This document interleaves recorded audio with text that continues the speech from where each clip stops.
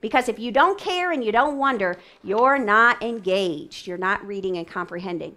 Or maybe you like number six better.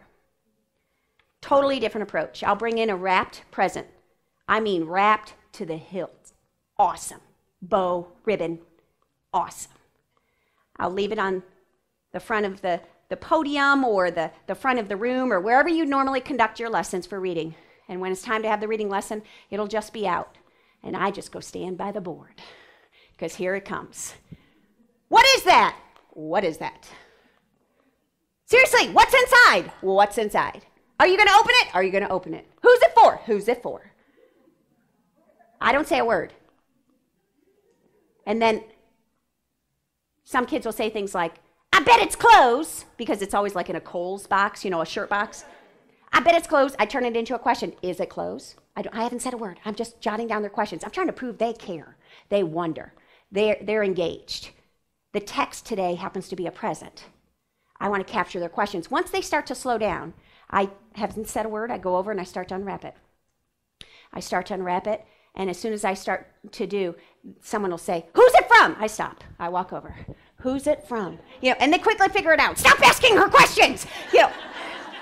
No, no, no. Keep going, keep going, keep going. And so I unwrap it, and, and then I, you know, it, it says Kohl's on it or something like that. Or like, I, I knew it was a shirt or clothes. Or, and, and so then I, and they're like, well, that's not clothes. And then they have more predictions or questions. Boom, boom, boom, boom, boom.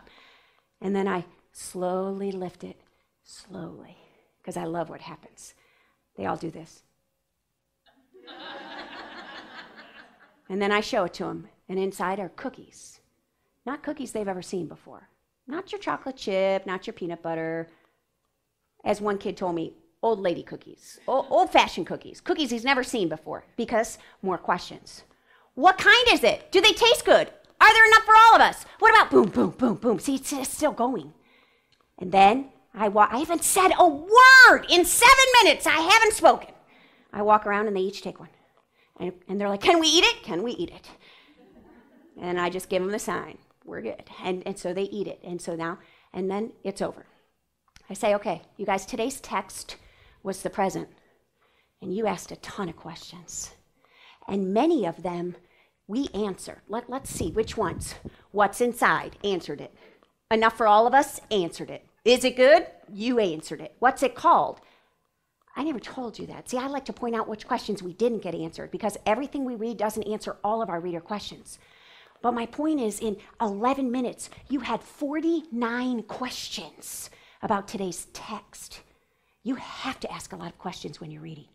You have to be that engaged. You have to care about it that much. And that's what we're going to work on all year long. That's my intro to questioning early in the year. This idea of getting them to realize, to feel what it's like to be that engaged.